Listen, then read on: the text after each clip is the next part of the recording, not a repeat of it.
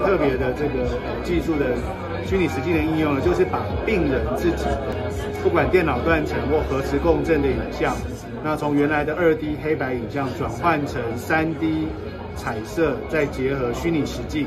那这个的好处是哦，因为过去我们用虚拟实际可能都是用教育。